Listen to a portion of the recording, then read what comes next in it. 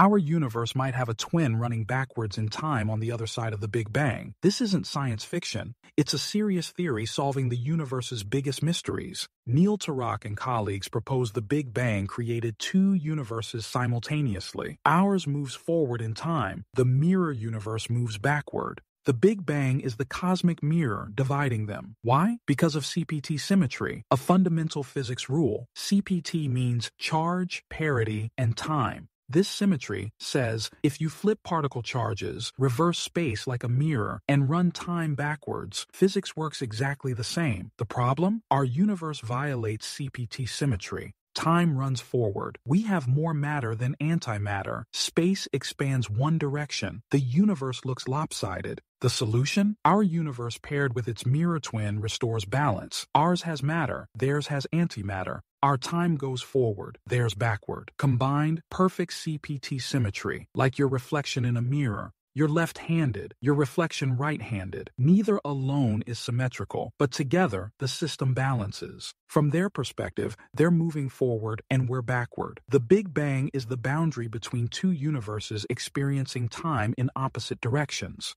This explains dark matter, the invisible stuff making up 85% of all matter. We only detect it through gravity. The mirror universe demands right-handed neutrinos. These would be incredibly massive and only interact through gravity. That's exactly dark matter's behavior. The predicted abundance matches observations perfectly. It also challenges cosmic inflation. The mirror model explains why the universe is flat and uniform without inflation's exotic fields. CPT symmetry does the work naturally. This makes testable predictions. Inflation should create primordial gravitational waves. The mirror model predicts they don't exist. Empty searches support the mirror universe. We can never visit it, separated by the Big Bang itself. But right-handed neutrinos are here, making up dark matter and shaping the cosmos. The mirror universe isn't optional. If CPT symmetry applies universally, which physicists believe it must, then the mirror universe must exist to balance everything.